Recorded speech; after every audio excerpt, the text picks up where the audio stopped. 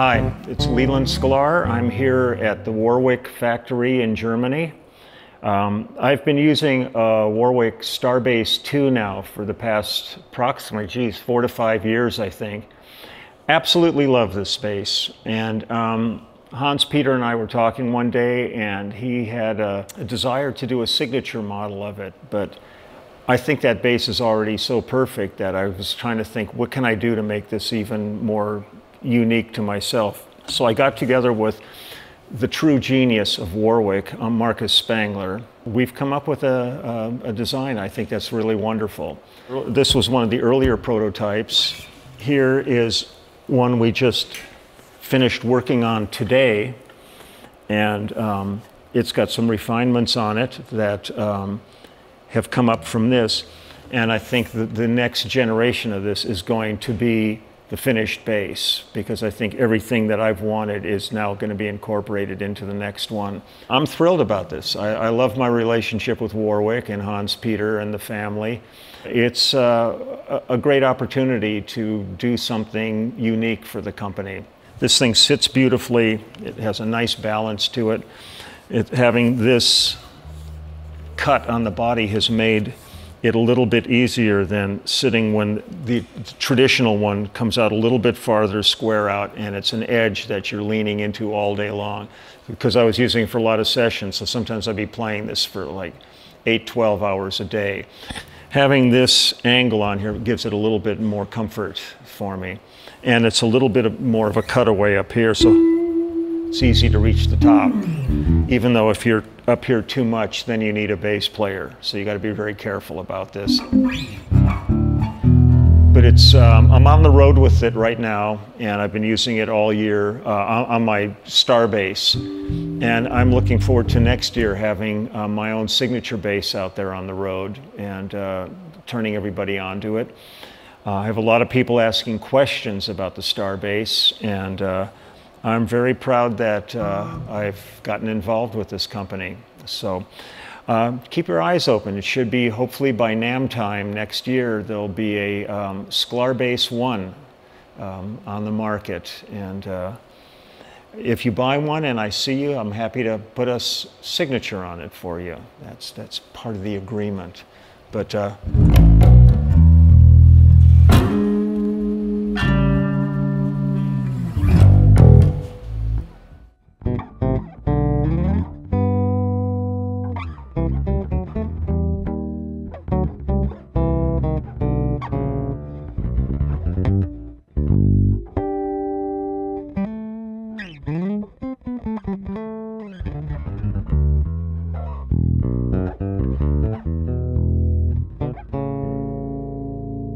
This thing plays beautifully.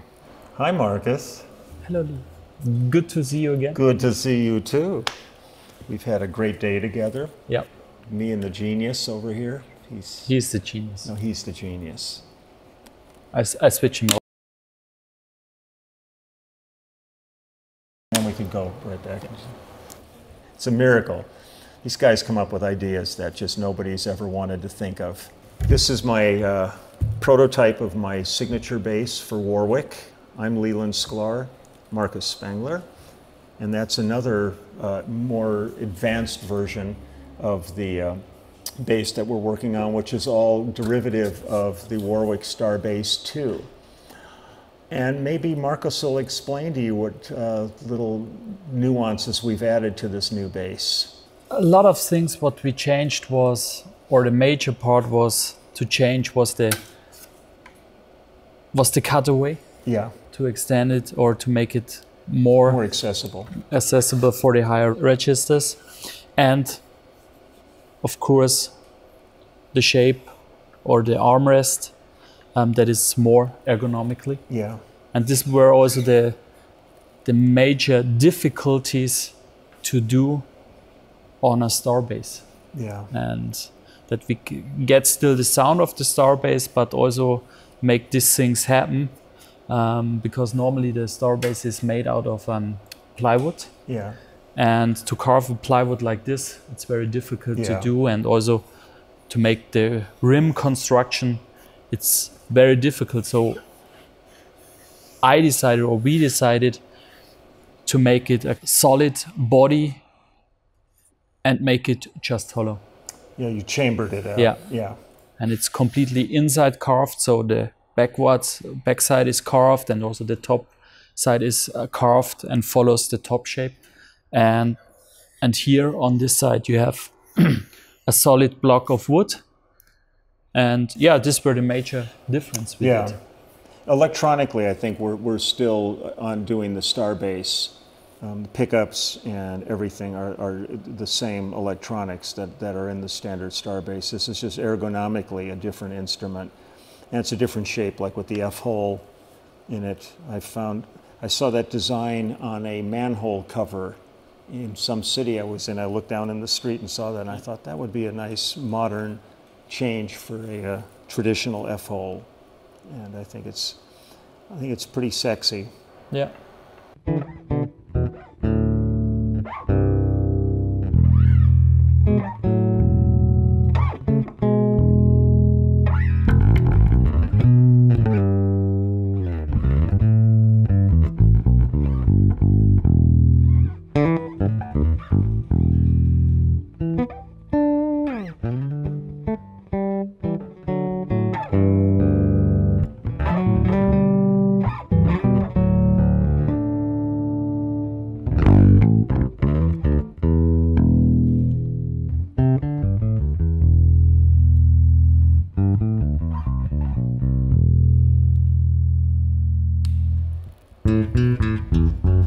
Amazing! This is an amazing switch. So it's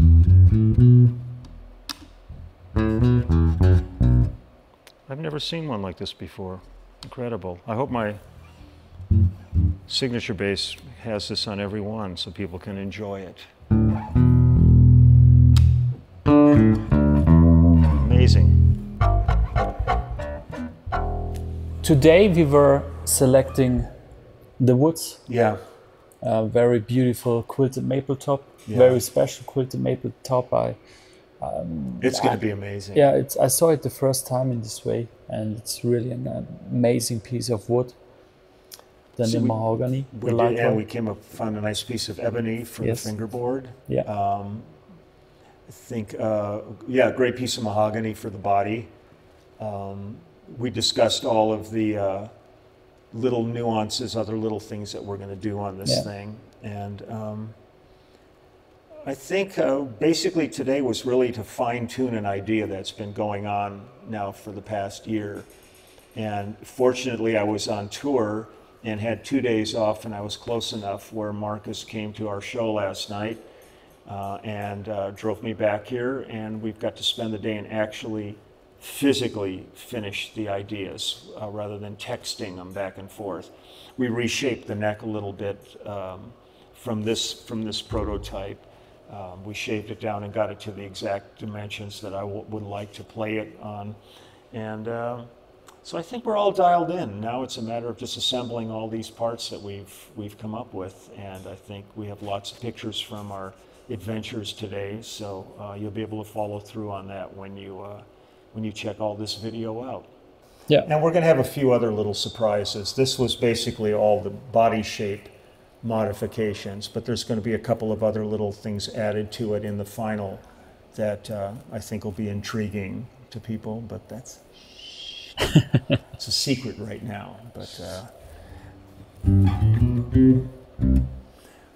you'll see it. It should be at the NAMM show in uh, sure. 2017 uh, in Los Angeles. And yeah, I'm excited. I think it's going to be a wonderful instrument and a wonderful addition to the uh, to the Warwick family.